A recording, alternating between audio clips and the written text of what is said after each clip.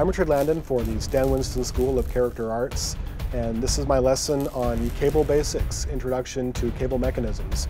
We're going to do a quick overview and some construction tips on how to build single axis, double axis, and multi-stage tentacle mechanisms that are of all sizes, shapes, and constructions. This is cool, this is sexy, I like it. How, does it, how do I make this into a working tentacle? We're going to be discussing tentacle mechanisms, finger mechanisms,